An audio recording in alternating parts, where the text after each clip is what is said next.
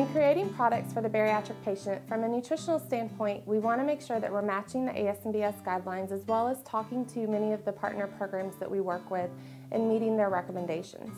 We want to maximize as much as we can into one product to reduce the number of products or pills that a patient needs to take per day without running into nutrient interactions. So the, uh, the neat thing about how we've constructed our protocols is that we originally started as a bariatric surgical support company only. And when you're looking to create protocols to support this community, you really have to focus on creating a product that's going to be specific to that surgery type.